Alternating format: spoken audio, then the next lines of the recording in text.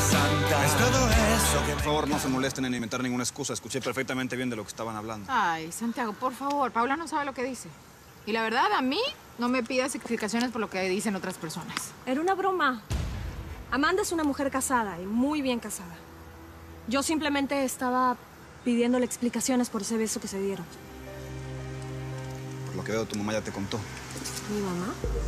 Sí, mi mamá ya me contó que los vio. Y yo quiero saber qué cosa fue lo que pasó. No, ¿y tú por qué estás tan interesada en saber qué pasó entre Amanda y yo? ¿Cuál es tu interés real? Estoy esperando. ¿Cuál es tu interés real en saber si Amanda y yo nos dimos un beso? Santiago, basta.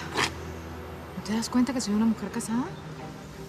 Perdóname, pero me interesa saber qué tiene que decir tu amiga con respecto. Bueno, pero a mí no me interesa seguir escuchando esta conversación donde yo no tengo nada que decir. Adiós.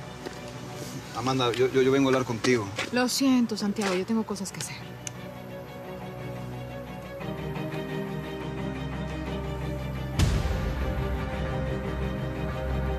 A mí ni me mires con esa cara que yo no tengo ninguna explicación que darte. Adiós.